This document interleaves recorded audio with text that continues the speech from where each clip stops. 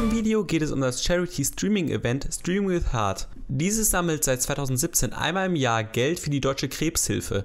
2017 sind insgesamt 15.000 Euro, 2018 sogar 56.000 Euro zusammengekommen. Dieses Jahr hatte man vor, an 31 Streaming-Tagen insgesamt 100.000 Euro zu sammeln. Ein ehrgeiziges Ziel. Streaming with Heart hat dafür eine Abmachung mit dem Zahlungsdienstleister TipeeeStream getroffen.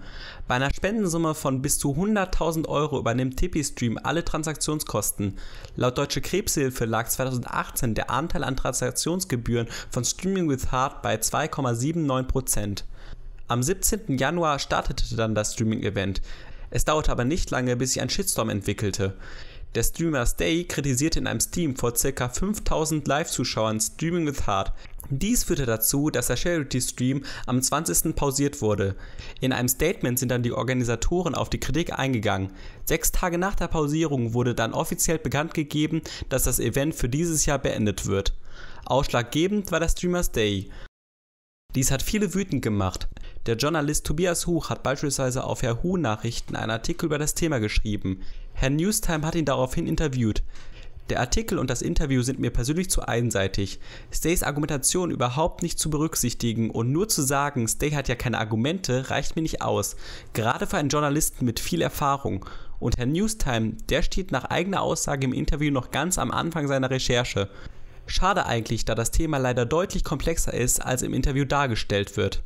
Stays Hauptvorwurf gegenüber Streaming with Heart war, dass der Spendenprozess sehr intransparent sei, gerade hinsichtlich des Zahlungsdienstleisters TipeeeStream. Seiner Meinung nach sei dieser Donation Service für Charity-Aktionen nicht der richtige. Er sprach darüber auch mit einem Mitarbeiter von TipeeeStream. Dieser sagt in einem Interview mit Stay, dass er auch nicht versteht, wieso Streaming with Heart mit TipeeeStream zusammenarbeitet. Immer wieder sprach Stay den Fall einer Spende mit PaySafeCard an. Dabei seien die Transaktionsgebühren meist ca. 49% hoch. Zahlt TipeeeStream auch diese extrem hohen Transaktionsgebühren? Ebenfalls kann man Streaming with Heart für 5 Dollar auf Twitch subscriben.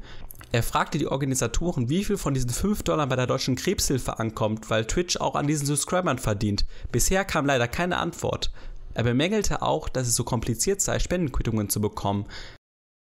Die Art und Weise, wie Stay in seinen Streams über Streaming with Heart gesprochen hat, hat vielen nicht gefallen. Nicht zuletzt, weil auch wegen ihm das Ganze vorzeitig beendet wurde. Teilweise ist Streaming with Heart in ihrem Statement auf diese und weitere von mir jetzt nicht genannten Vorwürfe eingegangen, teilweise jedoch leider auch nicht. Auf die Ankündigung, dass die Rückfragen gesammelt beantworten, ist jetzt fast zwei Wochen später immer noch nichts gefolgt. Hinter dem Projekt steht laut Tobias Huch ein 19-jähriger Berufsschüler. Dieser hat das Projekt 2017 gegründet. Im Laufe der Zeit bildete sich ein Team um ihn. Man war sogar dabei, einen Verein zu gründen. Es lief aber hinter den Kulissen des Streaming-Events leider nicht alles perfekt. Der Streamer hervorragend war für die Sponsorenakquise und Eventplanung zuständig. Er veröffentlichte jetzt eine Stellungnahme zu der ganzen Thematik. In dieser kritisierte er stark den Gründer. In Zeiten des Shitstorms habe er komplett alleine gehandelt. Er schrieb dazu, durch eine Person stand das ganze Projekt einfach auf der Kippe und uns ging die Energie aus, als dass wir weitermachen konnten. Drei Leute haben versucht, den Schlamassel einer Person auszubügeln, während diese einfach alleine im Namen des Projekts handelte. Beispielsweise hat der Gründer wohl das Statement ohne das Wissen des Teams veröffentlicht.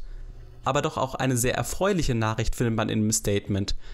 Was ich aber verdeutlichen möchte, wir haben unter anderem Einblicke in die Konten von Tippy und PayPal erhalten und konnten sehen, was an Zahlungen rein und raus ging. 2017 und 2018 wurden knapp 71.000 an die Deutsche Krebshilfe abgeführt und es entstanden ca. 350 Euro an Kosten für Webserver, Domain und Event drumherum. Es gibt und gab keinen Betrug. Die Summe, die durch die angegebenen Quellen reinkam, ging auch abzüglich der genannten Kosten an die Deutsche Krebshilfe. Das gleiche schrieb auch die Deutsche Krebshilfe in ihrem Statement. Sie bedauern den vorzeitigen Abbruch, zeigen aber auch Verständnis. Ich hoffe, euch hat's gefallen. Es war eine Menge Arbeit, alle Informationen zusammenzutragen. Ich hoffe, ich habe keine Fehler gemacht oder etwas vergessen. Wenn schon, dann könnt ihr mich ja in den Kommentaren darauf hinweisen. Zum Ende möchte ich auch noch sagen, dass man natürlich auch ohne Charity Streaming Event spenden kann. Einfach auf die Website einer Spendenorganisation gehen und spenden. Ich habe euch in der Videobeschreibung einfach mal die Deutsche Krebshilfe verlinkt. Jeder Euro hilft. Ich hoffe, euch hat das Video gefallen. Über eine Bewertung würde ich mich freuen. Ich wünsche euch noch einen schönen Tag.